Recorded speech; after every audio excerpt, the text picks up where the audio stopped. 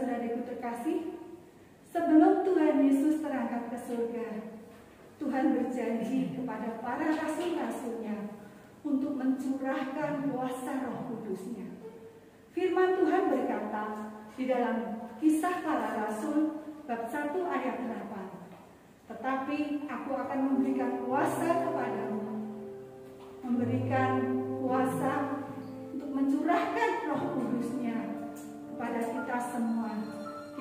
menjadi saksinya.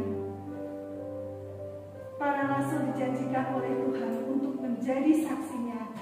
Baik itu di Yerusalem, di tanah Yudea, dan di Samaria, bahkan sampai ke ujung bumi. Saudaraku, janji Tuhan kepada para rasul juga dinyatakan di dalam hidup kita. Ketika kita dibaptis, kita menerima kuasa roh kudusnya. Kita diberi kuasa untuk mewartakan kabar sukacita Injil Kerajaan Allah.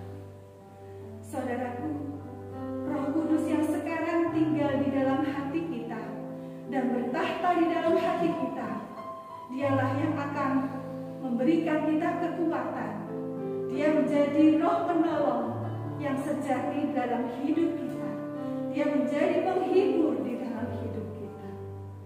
Ya roh kudus, bekerjalah di dalam hidup kami. Rawatlah dan urapilah kami.